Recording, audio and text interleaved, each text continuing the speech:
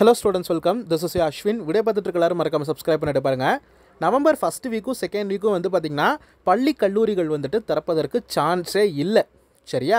எதனால் அப்படின்னு பார்த்துட்டிங்கன்னா நம்மளுடைய முதலமைச்சர் எடப்பாடி பழனிசாமி நேற்று என்ன சொல்லிட்டாருன்னா மருத்துவ குழு வந்து எப்போ சொல்கிறாங்களோ அப்போ தான் வந்துட்டு நாங்கள் வந்து ஸ்கூலை திறப்போம்னு சொல்லி சொல்லிட்டார்.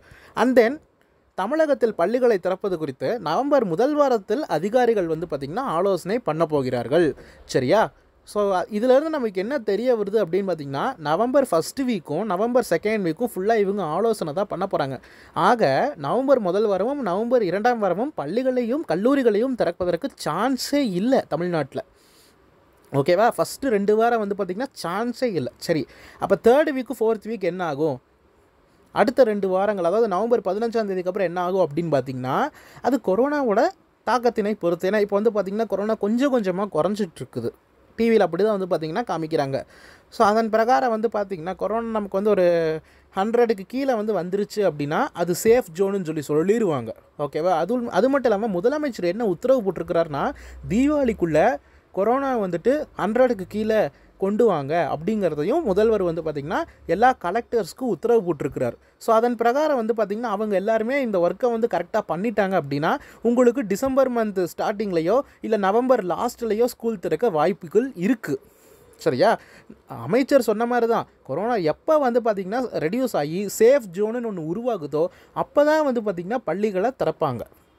ஓகேவா? அண்ட் தென் நான் சொன்ன மாதிரி நவம்பர் மாத கடைசியிலையோ இல்லை டிசம்பர் மாதம் ஸ்டார்டிங்லேயோ பள்ளிகளை வந்து பார்த்திங்கன்னா ஸ்டார்ட் பண்ணிட்டாங்க அப்படின்னா உங்களுக்கு ஜூன் மாதம் அடுத்த ஜூன் மாதம் வந்து பார்த்திங்கன்னா நிச்சயமாக பப்ளிக் எக்ஸாம் இருக்கும். சிலபஸ் ரெடியூஸ் பண்ண சிலபஸை எப்போ ஸ்கூல் ரீஓப்பன் பண்ணுறாங்களோ அப்போ தான் வந்து பார்த்திங்கன்னா வெளியிடுவாங்க. ஓகேவா? இல்லை ஒருவேளை கொரோனாவோட செகண்ட் வேவ்னு ஏதோ ஒன்று வருது மாதிரி சொல்கிறாங்க அப்படி எதுவும் வந்து பார்த்திங்கன்னா வந்துருச்சுன்னு வச்சுக்கோங்க.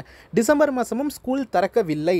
அப்படிங்கிற பட்சம் நமக்கு என்ன ஆகும் அப்படின்னு பார்த்திங்கன்னா ஜனவரி மாதமும் கொரோனா எக்ஸ்டாண்ட் ஆகிட்டே போயிருச்சு அப்படின்னா நமக்கு ஜீரோ அகாடமிக் இயர் கொண்டு வந்துட்டு இந்த வருஷத்தை ஃபுல்லாக கேன்சல் பண்ணிவிட்டு அடுத்த வருஷத்துலேருந்து புதுசாக படிக்கிற மாதிரி வந்து பார்த்திங்கன்னா வச்சுருவாங்க.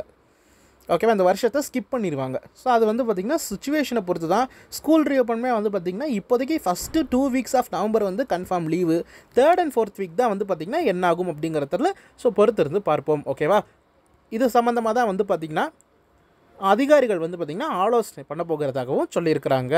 ஓகேவா ஓகே ஸ்டூடெண்ட்ஸ் தட்ஸ் தேங்க்யூ